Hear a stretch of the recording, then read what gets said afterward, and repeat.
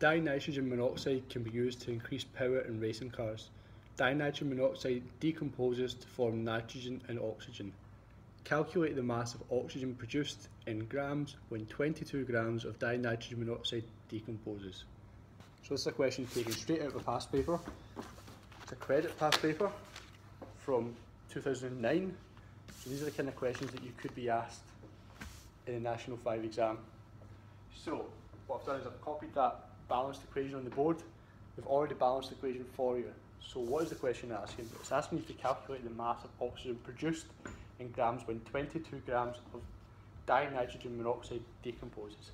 So what does decomposes mean? Think of a body. If a body decomposes, it means it breaks down. So we're talking about dinitrogen monoxide and we're talking about oxygen. Nitrogen isn't mentioned in the question. You're given no information about nitrogen, so you don't need to concern yourself with nitrogen. Okay, so what is the mole ratio of dinitrogen monoxide to oxygen? Well, there's a 2 in front of dinitrogen monoxide, so it's 2. Nitrogen, just forget, there's nothing in front of oxygen, which means it's just 1. So we have 2 to 1 ratio. First step. Second step is we're going to work out the number of moles we have of dinitrogen monoxide. So, number of moles, mass, and GFM.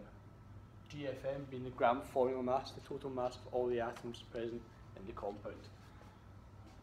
So, let's take stock of the atoms. We have two nitrogen atoms and one oxygen. Two nitrogen is 2 times 14 grams, which gives you 28 grams. 1 times 16 is the mass of oxygen, which gives you 16 grams. So 28 plus 16 gives you 44 grams. So we've worked out the gram formula mass of dinitrogen monoxide to be 44 grams. Now, the mass, if we look back at the question, the mass, it tells us, is 22 grams.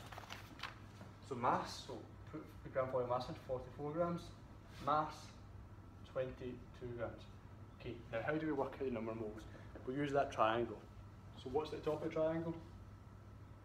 Top of the triangle we have mass. Bottom of the triangle, on the left hand side we have moles, and on the right hand side we have gram formula mass, or GFM. So to work out the number of moles, we will hit mass divided by gram formula mass.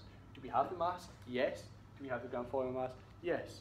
So what we do is 22 grams divided by 44 grams gives you 0.5 moles.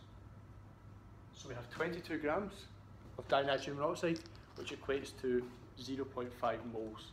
So let's draw a dotted line down to separate.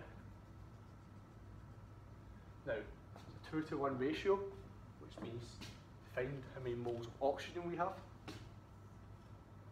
We're going to have to divide 0.5 moles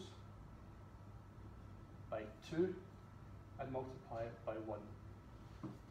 Because divided by 2 and multiply it by 1, which gives us 0.25 moles. So N is 0.25. What the question is asking is calculate the mass of oxygen produced. So we know now 0.25 moles is produced, but what does that equate to in grams? Well, to find that out, we need to relate, refer back to our triangle. So to find out the mass now, we need to have moles and we need to have gram formula mass. We've got them both. What do we do? Well, we multiply them together. So, GFM, gram formula mass of oxygen, is just 2 times oxygen, is 2 times 16. It's 32 grams. Why do you do 2 times 16? Because it's diatomic. 32 grams. So mass, therefore, it's moles times gram formula mass. So that's 32 grams times 0.25 moles, which gives us a total mass of 8 grams. So let's look at the steps we've done there.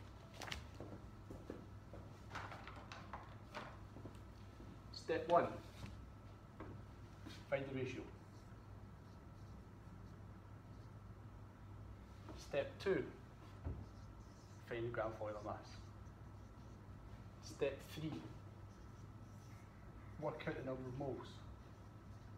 Step four, work out the mole ratio. So we started off with 0.5 moles, but we've got a 2 to 1 ratio, so we've only got 0.25 moles of oxygen. The final step, well, let's say, let's add another step in here, gram formula mass of oxygen, even though you maybe work that out in your head, it's good to make it explicit, it's good to make it clear.